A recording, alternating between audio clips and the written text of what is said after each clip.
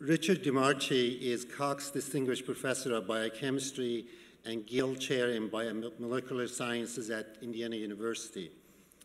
Uh, for over three decades, Professor DiMarchi has contributed significantly to peptide and protein sciences in academia, pharmaceutical industry, and biotechnology companies.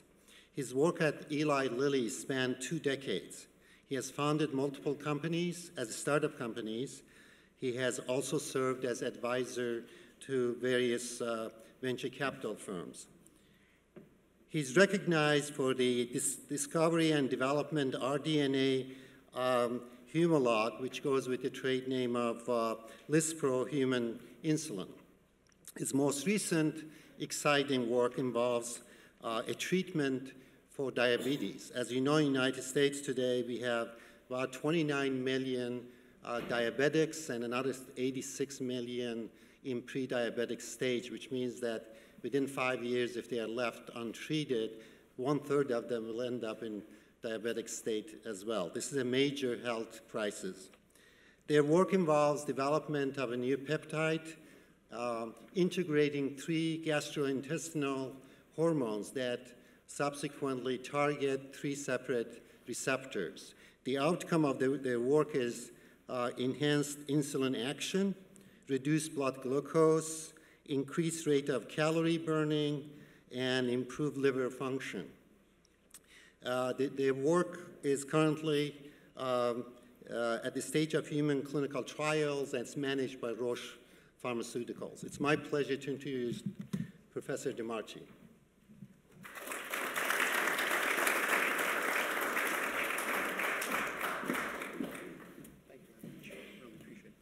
Well, thank you so much for the, uh, for the kind uh, introduction. It, it, truly is uh, a pleasure and an honor to, to be here. Uh, thank you to the organizers for the invitation. Let me congratulate all of the, uh, the fellows. When you look through this book of 2014 fellows, it's a, it's a who's who of, uh, of technology, the breadth, the depth.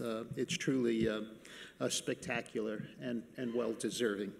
Um, I was asked to, uh, to provide this lecture long before I became one of the, uh, the, the, the, fellows, and I was glad to do it.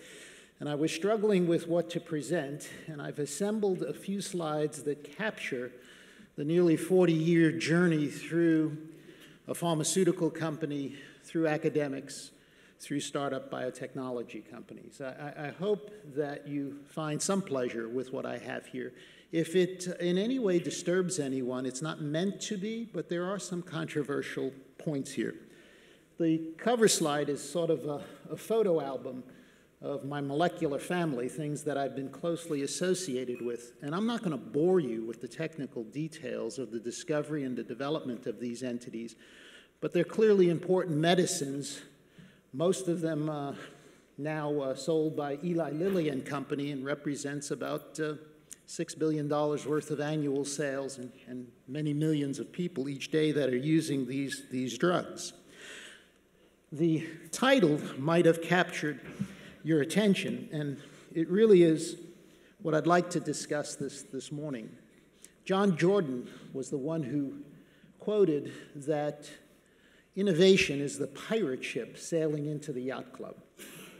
And that always stayed with me as to what does that mean? And here you see Keith Richards and Johnny Depp, and this question of who are we and why do we do what we do? And what I'd like to share with you to some people, we are good witches, and to some people, we are bad witches. That change creates anxiety. And I learned this very early on in the, my training. I was at a um, scientific conference, still as a graduate student, in the in the late 70s in uh, hearing uh, Herb Boyer talk about the emergence of biosynthesis and the uh, creation of the first peptide, somatostatin, if you go back to that, that, that era. And I was just completely mesmerized because I knew the difficulty of doing what he was doing at a chemical level, forget the biochemical approach. And as we went out to coffee break, what shocked me was the discussion of this is terrible. These guys are going to put us out of business. in essence, technology was creating an insecurity, and it, it, was amazing to me how I've seen that repeated throughout my career and how behaviors are influenced by people's sense of security. By the way, biotechnology created more employment for peptide and protein chemists than they ever created for themselves. So it was actually a very, very good thing. Now, this is uh, my recollection of my days back at Lilly, which were absolutely spectacular. The education you get in a pharmaceutical company about discovery and developing drugs can only occur in a pharmaceutical company. Okay? You may not agree with that, but that was certainly my learning, and the exposure that I had at an early period to the late stage development has influenced the way I've gone about doing this. But I always felt like an outsider. In fact, repeatedly challenged with, why can't you make a real drug? Meaning an oral drug, right? Not an injectable drug. And a little known secret is that within 10 years of Lilly's first development of recombinant human insulin, which I proudly was a significant part of, they terminated the future development of any biosynthetic products. Now, fortunately, pirates don't take direction. and we just continue to push on and do what we have, have done. Uh, and thankfully, in the course of the last 10 years, no one has ever asked me whether I can make a real drug because the world has come to embrace these large molecules as molecular medicines. And here is an example of the last um, macromolecules that I proudly was a part of at, at Lilly, championing its development, despite the fact that we did not have a patent on the chemical entity itself. This is Forteo, the N-terminal 34 residue fragment of parathyroid hormone. And what you're looking at is the bone structure of a single patient after almost two years of therapy, 20 micrograms per day, incredibly potent. If you were taking Prozac, you'd be at 20 milligrams per day, right? 1,000 times the, uh, the weight. And what you're seeing is that the bone structure of this one woman whose fracture rate had significantly decreased. The phase three study showed a 90% decrease in fracture, but in this one patient, you could not, you could not decipher her bone structure from her daughter of 30 years younger. In essence, in two years, at $5,000 worth of cost, you could get a new skeleton. Now, imagine if that regenerative property could be reproduced for a failing kidney, a failing pancreas, a failing heart, a failing brain, right? This is what keeps us moving. But we're in our infancy in terms of how to do this, and none of us, certainly not I, expected this sort of phenomenal uh, outcome, which has had a significant uh, effect on the treatment of osteoporosis. Okay, so here's Eli Lilly. I spent 22 years there, left as a, uh, a global uh, executive for all of, uh, of biotechnology, and I'd sit from my office on the left-hand slide looking down this mall and often wondering how did we get to be where we, we are and how much of what we're accomplishing is me versus the other 30,000 employees. And you'd look back at these historical photos and you'd often wonder which of these two institutions were the more innovative institution, the one that gave rise to the institution on the left or the one that is the left at the point in 2000. And I often jokingly looked at those folks in the doorway and wondered which is the CEO, which is the CSO to this, this organization. But in fact, this is where real invention occurs. Bryan Molloy, who discovered Prozac, often said to me the critical mass in real invention isn't measured by the number of people working on the problem. It's the number of wrinkles on a single brain. It's the person who actually has that inspirational thought. Sure, you need many, many folks to bring this forward. And I always wanted to go off and, and do this sort of thing. Here's what the industry looked like in 1990. You probably know it well. This was the top 45, 46 companies in the industry. And indeed, this is what it looks like in 2010. As a result of consolidation, mergers, acquisitions, and poor business thinking, quite frankly. Um, you know, plague only wiped out one in four. that tells you what the magnitude of the effect has been a change in this industry. Now, for those of you who've lived your whole life in academics, take note. we're confronting the same phenomena. People are asking the same questions as to where is the return on investment. Be prepared for traumatic changes as we go forward. And I will share with you, there will be many people who are resisting the very things we need to do to make this a healthier environment. So there's the question what, what to do. And this is what got us to where we were in the pharmaceutical industry. This persistent belief that we could just iterate our way forward is captured on this one slide that demonstrates about 150 years of innovative prog progress in British and Swiss pocket watches. Whereas the commercial incentive was simply to get it smaller, to get it, get it lighter, so it was more convenient to wear in a coat, coat pocket. And this particular quote sort of captures what I want to share with you, and that is good ideas and decisions have expiry dates. They're not good forever. The British created a civil service job in 1803, calling for a man to stand on the cliffs of Dover with a spyglass. He was supposed to ring a bell if he saw Napoleon coming. The job was abolished in 1945. Change comes slowly, and people are incredibly resistant. So I often wonder when we are, we are, we are just fertilizer, and people look back at this period as to what they will think of this period.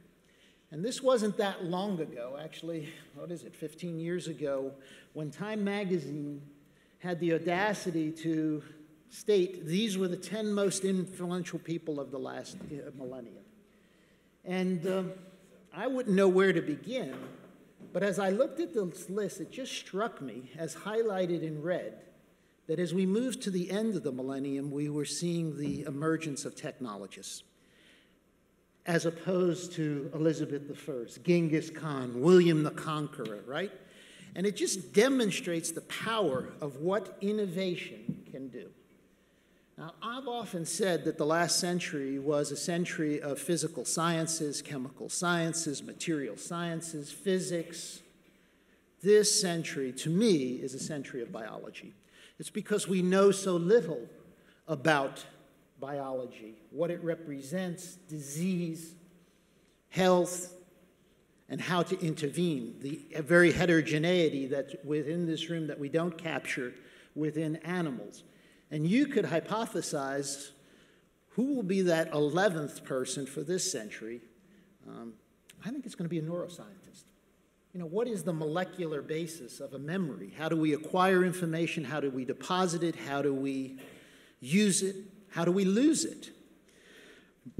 1929, Lindbergh crosses the Atlantic. 40 years later, we're on the moon.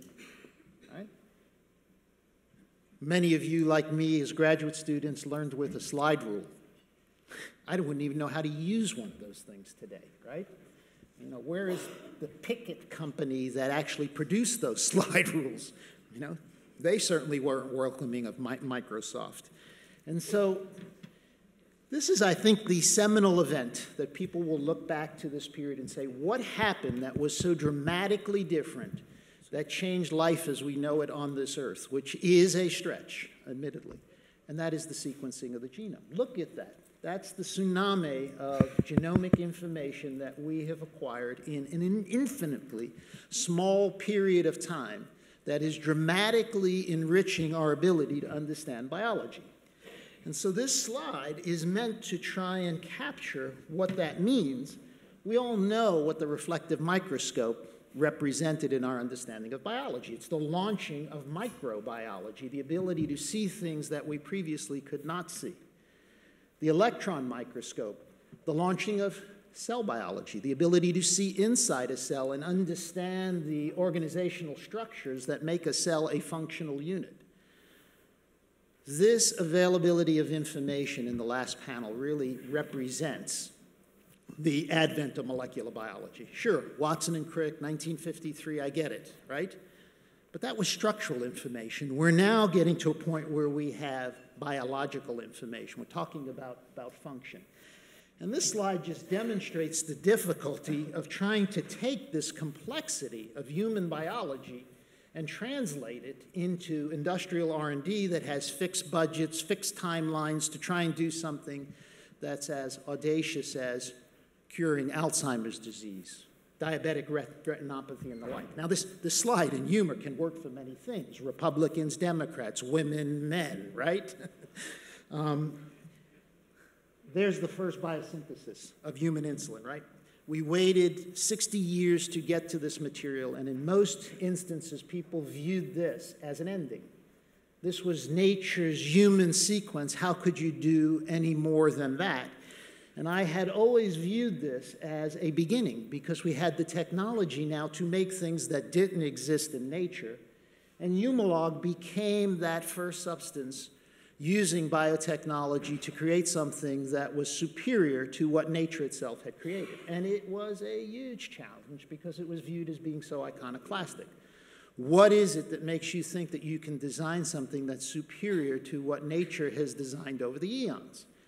And the simple answer is nature selects for physiology. We select for pharmaceutics. It's completely different environmental pressure, related but different, such that you come out with a, a different answer. But I can tell you on the heels of that, the fellow who discovered Nalfon said, Wonderful, now we can go back to discovering drugs the right way, meaning small conventional molecules, because he wasn't prepared to give room for the macromolecule medicinal chemistry. And I left Lilly in 2003 to team with Pete Schultz. This is his technology, academic technology, that he developed first at Berkeley and later at Scripps to build a company called Ambrx, off the amber codon RX for the pharmaceutical nature of it, to include non native amino acids where the microorganism is doing the synthesis. I call it chemical biotechnology. It's the fusing of the fume hood with the laminar flow hood to do things that we just can't do in nature. Now, for anyone who's taken organic chemistry, you know the importance of a ketone, right? For chemical functionality. So, in many ways, I had viewed this as adding letters to the alphabet. And you might say, who needs that? we already got 26. But we have five vowels. And when you start adding vowels, they make a difference. And this has allowed us to do things such that we can go about adding function or turbocharging function that already exists in nature. And in this Nature uh, editorial in 2007, playing off of Pimp My Ride, Pimp My Antibody, the ability to add cytotoxics, to add uh, radionucleotides and the like to give new function. And the beauty of all of this, as achieved at Ambrx, is that you can now bio-express a native human antibody of high complexity. We know what the structural complexity is, and with great precision, attach a cytotoxic to the point where you wish it to attach, because in medicinal chemistry, it's very much like real estate location, location, location. It makes all the difference in the function of the molecules. Now, simultaneous to starting that uh, uh, laboratory, um, the company uh, Ambrx, I began a laboratory at Indiana University, and this is a picture that was taken in 2009 of the roughly two dozen uh, scientists, students, postdocs that I've been working with, and I'll tell you a bit about the story of what we discovered there. And it takes me back to my roots in uh, metabolism, diabetes, obesity, and the epidemic that was mentioned in the, the introductory comments we have yet to fully appreciate what this all represents. When you look at the face of that one young lady who I think was 15 years of age, in essence, we've taken maturity onset diabetes, which occurs with a prevalence well more than 10 times juvenile onset diabetes, and turned it into a childhood disease. The ramifications of the microangiopathies, the nerve disease, the eye disease, the kidney disease are going to show themselves when these children start to appear at ages of 25 and 30 and 35. So we are in the, the incubation period. And one of the things that I wanted to do that was viewed as incredibly uh, pedestrian and unnecessary was to develop a better glucagon. Glucagon is a substance that is used as an antidote for insulin overdose. Uh, you're give yourself too much insulin, your blood glucose is low, you use uh, glucagon to, to rescue yourself. And while you're unconscious, you take out this little chemistry kit That is a lyophilized powder, a diluent. You dissolve it, put it in a syringe, and give yourself an injection. 90% of the patients who need it don't even have it with them at, at the time because they wouldn't be able to, to, to use it. And in wanting to do this at Lilly, there was no interest because the sales of glucagon were about 200 million, the sales of insulin were 10 billion, right? Where would you spend your time if you were a businessman? When we presented this problem to the JDRF, they said it was unnecessary. Three years later, after rejecting us, they sent out RFPs for this very proposal. And in essence, what we found is that if we just extended the C terminal end of this peptide, glucagon, we could create something that had dramatically increased solubility such that you wouldn't have to dissolve it at the time of injection because it would be soluble, stable, ready to be used, much like an epinephrine uh, pen. But here's where the really interesting part of all of this occurred. I asked my, my good colleague Matthias Tschöp if he would put this into rodents and compare its behavior to a related protein, which is this Gila monster peptide, exendin 4, that is the active ingredient in Byetta. And it had been known to lower body weight, and lo and behold, glucagon was every bit as effective in lowering body weight as that active ingredient in the pharmaceutical. And it did it in lean animals, and it did it in obese animals, and it did it without creating a diabetic state. And from that, to make a long story short, we hypothesized that we could begin to build polypharmacy, two activities in one, get the best of both worlds. In fact, more than the best of both worlds, that there was a real synergy in suppressing appetite and stimulating therm thermogenesis. And indeed, we published in 2009 this seminal paper that demonstrated that these peptides uh, lowered the body weight, uh, that it improved their blood glucose, that it lowered their lipids, cholesterol, Merck licensed the program, and it's in clinical trial as we, we speak. Barbara Hansen, who's here, did some seminal monkey uh, experiments demonstrating that this wasn't just rodent uh, ph pharmacology. And through all of this, what we found is long in the shade, glucagon reoccupies center court. We learned something about glucagon we didn't even know, about its physiological action. We were so focused on its uh, diabetogenic uh, uh, effect. And um, it just demonstrates that we don't know what we think we know, and that it's very um, serendipitous how we make discoveries that lead us to where we go and why universities are unbelievably important in doing this type of work. It's not going to happen in large pharmaceutical companies. It won't happen in biotech companies until you first demonstrate the signal. And so from this, I jokingly have called this a pipeline within a molecule, with people looking for molecules within a pipeline because we have made co-agonists of multiple hormones. We've published the triple agonist, which has exquisite efficacy in lowering body weight uh, and also using these peptides to target nuclear hormones like estrogen, testosterone, uh, androgens, uh, as well as adjunctive therapy with proteins that have failed, but we know are involved in human regulation of body weight. And so from all of this, uh, I just share with you a piece of data where uh, the hormone leptin, which was discovered by Jeff Friedman at the Rockefeller in 1994, that really had a seminal change on our understanding of, of obesity as a metabolic disease doesn't work in obese rodents when you treat them with pharmacological doses. And that's true of humans as well. And so the, the conundrum is why does it work in a normal body weight and not in an excess body weight? And what you see here is when we take these animals and we treat them with our best uh, coagonists and lower their body weight to a certain point, that the presence of the leptin now is effective in further lowering uh, body weight. And by the way, you cannot achieve that just by starving the animals to this point. So it isn't just the reduced body weight. There is something pharmacological about these coagonists that restore leptin responsiveness. So, look, these are the folks that I remember when I was a graduate student. Uh, how many of you would turn over your 401k plan to them to uh, determine your retirement, right? The young do not know enough to be prudent. It's phenomenal working with young people. And of course, many of you will recognize this as the Microsoft Corporation, right? There's Bill Gates, there's Paul Allen. These are the people that we went to school with, all the facial hair. And these are the folks that are changing the world, right? Think about what they have meant to, to communications. The last point I'll just leave you with is this important of diversity. Um, when we select for our labs, when we select for our medical schools, when we select for our programs, we want docs and docs and docs and docs, and we are monoliths. I have advised the Swiss companies that I have consulted for, Novartis and Roche, that they're at a disadvantage because when I go through their labs, I don't see Asian scientists. Okay? The real great strength of the United States is in the diversity that we have in our laboratories. And yes, having young, dopey people who ask silly questions stimulate us to inventions that we otherwise wouldn't have.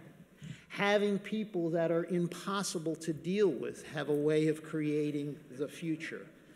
And yes, indeed, there is a value to sleep if you're going to be, be creative. Thank you very much for the opportunity to.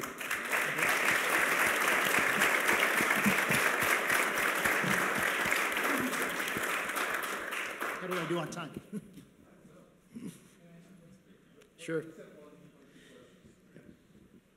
DiMarchi, a great, great question. I'm Nicholas Peppas from the University of Texas. I was a neighbor for 26 years at Purdue University. As I remember well. Why does it take industry so many years to come up with something when in academia you see people like Bob Langer and I mean I mentioned one well no name, they go out every year and they say, We discovered this, we discovered that, you know. And I brought up Bob Langer because I know he worked with Eli Lilly and so on, and he is a very respect, respectable investigator.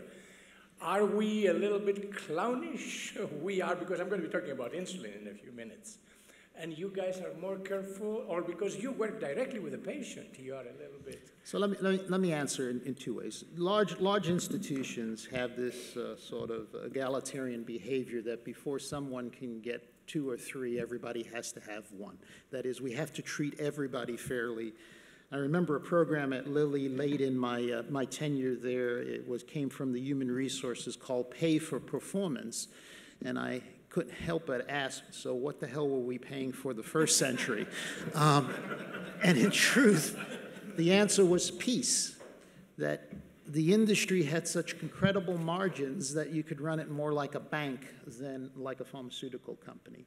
And I often noted um, that the debate at Lilly was there was an excess of ideas. And it's no different at Merck or Roche, where I have been, been, been consultants. Um, there's an excess of ideas. And so the constant debate was when you brought something creative forward, your idea is stupid. It's not going to work. You're going to waste our, our precious resource, our time, our money, so on and so, and so, and so forth. Jumping over to a university, I've never had that problem because I bring the money. okay? I'm in the outside world. I have to raise the money. Somebody is willing to do that. But here's a word of caution for uni universities there are at least as many people at the university as there were at Lilly telling me what not to do, telling me how, when we're successful, we're going to get screwed. we are a not for profit, and when all of a sudden we start generating revenues, how is that going to be, be reviewed? So the compliance issues are overwhelming, all right, almost suppressive. And so we have got to find a more creative way to promote what we're doing here because, as we all recognize, what our state institutions, because they were funded by local governments, are no longer funded by local governments to the extent to allow them to function, right? they're not even state supported institutions, they're state located institutions. You're very much dependent upon raising enough capital to maintain the quality of education that we all want to, to, to provide. And this is all part of this change that I see needing to occur within a university setting, much as I saw 20 years ago that took hold in a, uh, in uh, an industrial setting. There are far, far more people around playing defense than playing offense. And you folks are part of the offense, right? You want to create the, the, the future.